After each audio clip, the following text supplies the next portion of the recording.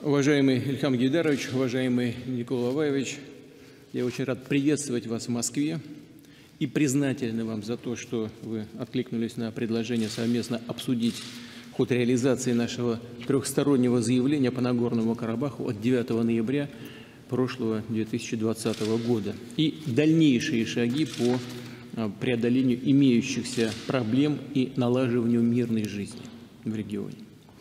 Россия дорожит партнерскими и добрососедскими отношениями, связывающими наши страны и народы.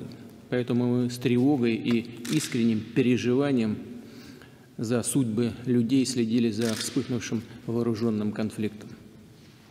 Масштабные боевые действия, к сожалению, привели к значительным человеческим жертвам, обострили и без того сложную ситуацию в Закавказье, увеличили риски и распространение терроризма. Хочу поблагодарить вас, уважаемые коллеги, за то, что вы позитивно э, восприняли предпринятые российской стороной активные посреднические усилия, которые были направлены на то, чтобы помочь остановить кровопролитие, стабилизировать обстановку и добиться устойчивого прекращения огня. Над решением этой сложной задачи напряженно работали дипломатические и военные ведомства наших стран. Мы с вами находились в постоянном контакте, вместе искали компромисс. Именно в результате наших общих усилий, после интенсивных, в том числе, как вы помните, и ночных телефонных переговоров, 9 ноября было согласовано трехстороннее заявление, которое мы с вами подписали. В этом базовом документе, как известно, речь прежде всего идет о полном прекращении военных действий – об отправке в регион российских миротворцев и, что особенно важно, о том, чтобы оказать мирному населению, пострадавшему от боестолкновений, всемирную и эффективную помощь в возвращении к нормальной жизни. Особо хотел бы при этом отметить, что во всех своих действиях Россия стремилась следовать ключевым наработкам, достигнутым в Минской группе ОБСЕ. Мы продолжаем регулярно сверять с партнерами, с председателями Минской группы наши действия. Сегодня можно с удовлетворением констатировать, что трехсторонние договоренности последовательно реализуются. По нашему убеждению, это создает необходимые предпосылки для долгосрочного и полноформатного урегулирования застарелого конфликта на справедливой основе в интересах как армянского, так и азербайджанского народов.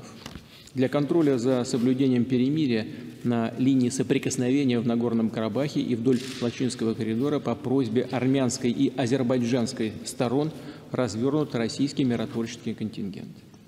Создана система эффективного э, обеспечения соблюдения режима прекращения огня.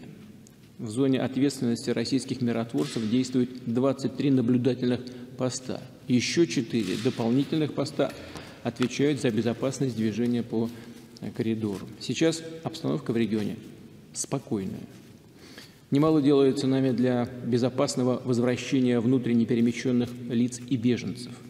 За период с 14 ноября в Карабах уже вернулись свыше 48 тысяч человек.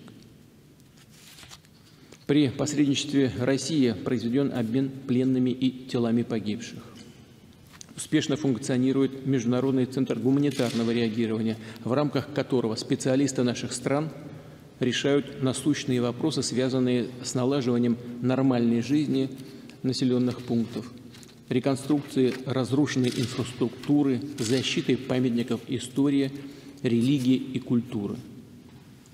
Сотрудники Центра занимаются восстановлением энерго- и теплоснабжения. Из России в зону конфликта доставлено уже свыше 800 тонн стройматериалов и всего более полутора миллионов тонн гуманитарных грузов. Населению предоставляется медицинская помощь. От мин очищено свыше 479 гектаров территории. Проверено 182 километра дорог, 710 зданий и сооружений – обнаружено и уничтожено более 22 тысяч взрывоопасных предметов. Думаю, что сегодня было бы важно прежде всего наметить последующие шаги по включению по э, ключевым направлениям урегулирования. обозначенном в совместном заявлении от 9 ноября прошлого года.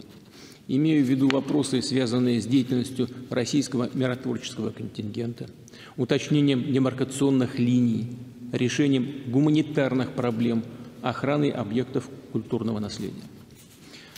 Особого внимания заслуживает задача разблокирования экономических, торговых и транспортных связей в регионе, открытия границ.